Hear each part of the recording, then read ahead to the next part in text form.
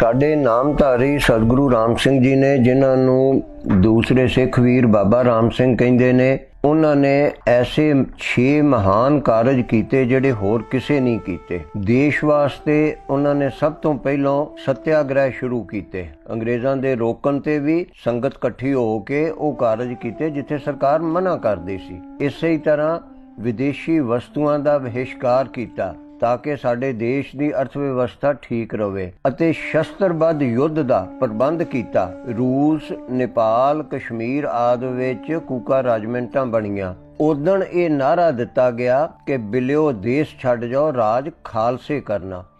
ਇਸੇ ਹੀ ਤਰ੍ਹਾਂ ਸਤਿਗੁਰੂ ਰਾਮ ਸਿੰਘ ਜੀ ਨੇ ਸਿੱਖ ਪੰਥ ਨੂੰ ਪ੍ਰਫੁੱਲਿਤ ਕਰਨ ਵਾਸਤੇ ਵੀ ਮਹਾਨ ਕਾਰਜ ਕੀਤੇ, ਜਿਹੜੇ ਹੋਰ ਕਿਸੇ ਨਹੀਂ ਕੀਤੇ। ਉਸ ਸਮੇਂ ਵਿੱਚ 1857 ਤੋਂ ਲੈ ਕੇ 1871 ਤੱਕ 13 ਸਾਲਾਂ ਵਿੱਚ ਸਤਿਗੁਰੂ ਰਾਮ ਸਿੰਘ ਜੀ ਨੇ 11 ਲੱਖ ਅੰਮ੍ਰਿਤਧਾਰੀ ਕਰੜੀ ਪੱਕੀ ਮਰਿਆਦਾ ਵਾਲੇ ਸਿੰਘ ਸਜਾ ਦਿੱਤੇ। ਨਵੀਂ ਮਰਿਆਦਾ ਆਨੰਦ ਕਾਰਜ ਦੀ ਚਲਾਈ ਗੁਰਬਾਣੀ ਵਿੱਚੋਂ ਲਾਵਾਂ ਪੜ੍ਹ ਕੇ, ਜਿਹਦੇ ਵਿੱਚ 16 ਸਾਲ ਦੀ ਲੜਕੀ 18 ਸਾਲ ਤੋਂ ਘੱਟ ਲੜਕਾ ਨਾ ਹੋਵੇ। ਕੋਈ ਜਾਤ ਪਾਤ ਦਾ ਬੰਧਨ ਨਹੀਂ, ਜਿਹਦੇ ਵਿੱਚ ਦਾਜ ਲੈਣਾ ਦੇਣਾ, ਉਸ ਸਮੇਂ ਮਨਾ ਕੀਤਾ, ਇਹ ਵੀ ਨਿਯਮ ਦੇ ਵਿੱਚ ਕਰ ਦਿੱਤਾ ਅਤੇ ਲਾਵਾਂ ਪੜਨ ਵਾਲੇ, ਕੀਰਤਨ ਕਰਨ ਵਾਲੇ ਪੁਜਾਰੀ ਨਹੀਂ ਹੋਣਗੇ, ਸੰਗਤ ਹੋਵੇਗੀ। ਇਸ ਤਰ੍ਹਾਂ ਕਰਕੇ ਆਨੰਦ ਮਰਿਆਦਾ ਸ਼ੁਰੂ ਕੀਤੀ। 6 ਜੂਨ 1863 ਨੂੰ ਪਿੰਡ ਸਿਆੜ ਵਿੱਚ ਇਸਤਰੀਆਂ ਨੂੰ ਸਤਿਗੁਰੂ ਰਾਮ ਸਿੰਘ ਜੀ ਨੇ ਅੰਮ੍ਰਿਤ ਛਕਾ ਕੇ ਕਛਹਿਰੇ ਪਵਾਏ। ਇਸ ਤੋਂ ਪਹਿਲਾਂ ਕਦੀ ਇਸਤਰੀਆਂ ਨੂੰ ਅੰਮ੍ਰਿਤ ਨਹੀਂ ਛਕਾਇਆ ਗਿਆ। ਐਸੇ ਮਹਾਨ ਕਾਰਜ ਕਰਨ ਵਾਲੇ ਸਤਿਗੁਰੂ ਰਾਮ ਸਿੰਘ ਜੀ ਨੂੰ ਸਿੱਖ ਪੰਥ ਨੂੰ ਭੁੱਲਣਾ ਨਹੀਂ ਚਾਹੀਦਾ, ਭਾਵੇਂ ਕੋਈ ਬਾਬਾ ਆਖੇ, ਭਾਵੇਂ ਗੁਰੂ ਆਖੇ, ਭਾਵੇਂ ਭਾਈ ਆਖੇ, ਉਹ ਇੱਕ ਵੱਖਰੀ ਗੱਲ ਹੈ।